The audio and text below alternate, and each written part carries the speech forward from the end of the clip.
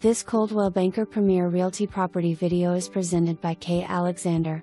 The possibilities are endless for this beautiful historic building sitting on Highway 64 West in Clarksville.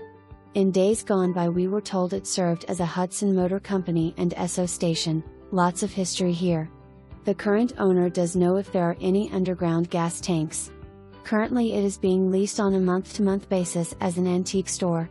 Call for your showing, bring your imagination, and let's see what business you can bring to this building.